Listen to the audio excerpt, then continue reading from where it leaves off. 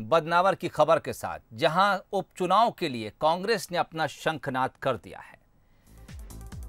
तो बदनावर से उपचुनाव के लिए कांग्रेस का शंखनाद। नंदी के कान में यहाँ पूर्व सीएम कमलनाथ ने कांग्रेस की जीत की प्रार्थना की है।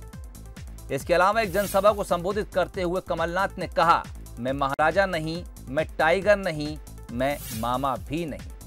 मध्य प्रदेश की जनता सब कुछ जानती है, ये कहना है कमलनाथ का। आपको बता दें कि मालवा निमाड़ की पाँच सीटों पर उपचुनाव होने हैं। आपको धन्यवाद देना चाहता हूँ। आपको धन्यवाद देना चाहता हूँ इतनी बड़ी संख्या में कांग्रेस परिवार के सभी सदस्यगण यहाँ उपस्थित हैं। आपने कांग्रेस की आन रखी, शान रखी। आप सबका बहुत बहुत धन्यवाद। पंद्रह साल बाद पंद्रह साल बाद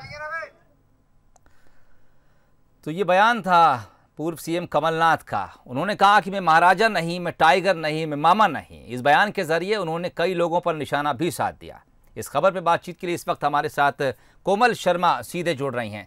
कोमल, दो बातें खास। एक तो ये कि कांग्रेस, जिसके लिए सबको इंतज़ार था कि कब से श्री गणेश करने जा रहे हैं। तो पूर्व सीएम कमलनाथ ने उपचुनाव प्रचार का श्री गणेश कर दिया है।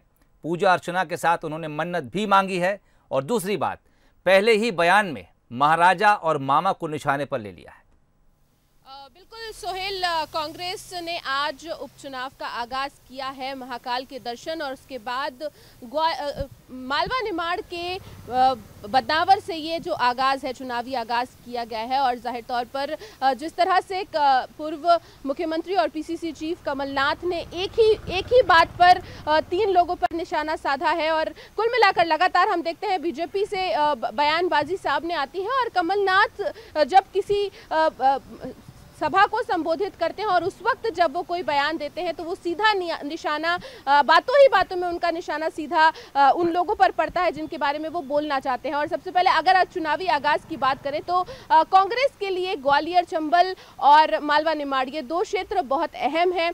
ग्वालियर चंबल की 16 सीटें हैं। वहीं अगर मालवा निमाड़ की बात करें तो पाँच सीटें हैं और ये सीटें जीतना कांग्रेस के लिए चुनौती भी है और यही कांग्रेस का लक्ष्य भी। और इसीलिए अगर बात करें तो आज मालवा निमाड़ के बदनावर से चुनावी आगाज़ किया गया है। बदनावर की बात करें तो पिछले दिनों बदनावर में काफ़ी ज़्यादा सियासी उठापटक जो है वो देखने को मिली। बीजेपी से कई लोग कांग्रेस में गए तो कांग्रेस से कई जो नाराज़ समर्थक थे वो बीजेपी में शामिल हुए। तो कुल मिलाकर दोनों ही राजनीतिक दलों में जो असंतुष्ट नेता हैं, समर्थक हैं, उनकी नाराज़गी देखने को मिली है। और इसीलिए बदनावर से इस चुनावी इस चुनावी रैली का, एक तरह से चुनाव का आगाज़ जो है वो कमलनाथ ने किया। और जिस तरह से उन्होंने बताया कि वो जनता प्रदेश का विकास करना चाहते थे, जनता के हितों में काम करना चाहते थे, निवेश लाना चाहते थे प्रगति करना चाहते थे, लेकिन उनकी सरकार को चलने नहीं दिया गया।